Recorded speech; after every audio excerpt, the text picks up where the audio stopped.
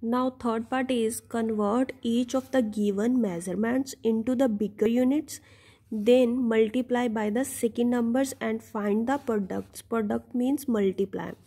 First statement given 7 kilometer 63 meter and 4. This statement multiply with 4. 7 third part is sum is 7 kilometer 63 meter and 4 then that given in meter that given in kilometer. Firstly kilometer convert into meter. 7 kilometer is equal to kilometer when we convert into meter then multiply with the we are moving forward three steps. Then multiply with a thousand thousand meter. Then 7000 meter. There 7000 meter plus that given 63 meter. When we add then 7063 meter answer came.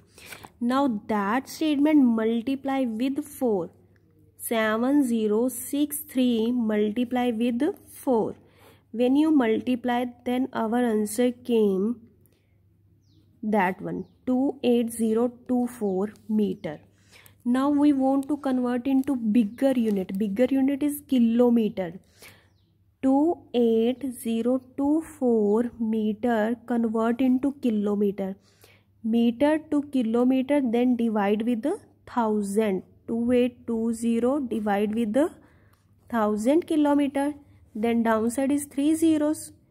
28024 from backside leave three digit then write their point. There write kilometer. That is our answer. 28.024 kilometer Next B sum is do by self B sum. They are given 43 gram, 732 milligram and 18. Then that milligram convert into gram. Firstly convert into gram.